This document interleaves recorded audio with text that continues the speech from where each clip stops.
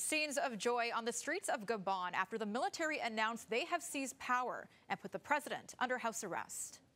30 août 2023. In an overnight televised announcement filmed in the presidential palace, about a dozen senior officers declared the borders are closed and state institutions are dissolved. All officers who claim they represent all Gabonese security and defense forces say they have decided to defend peace by putting an end to the current regime.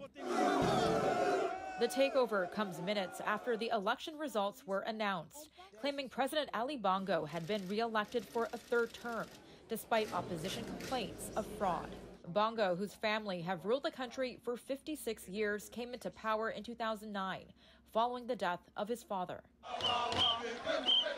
Hundreds of people took to the streets of the capital to celebrate in the morning following the overnight announcement, many holding flags and chanting as military vehicles drove by. We are free. We have the right to be free and to express ourselves the way we want, says this one resident out celebrating among the crowd. In a meeting in Spain, European Union defense ministers gather to discuss the situation in Gabon, saying this could bring more instability to the region.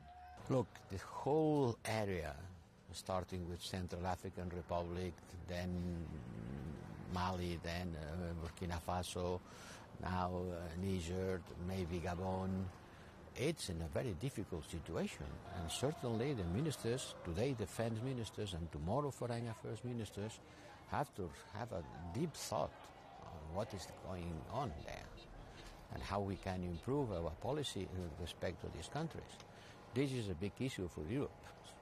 The now detained president appeared in a video appealing for help from the international community. Now, if successful, the coup will be the eighth in West and Central Africa since 2020. Melissa Nakhavoly, City News.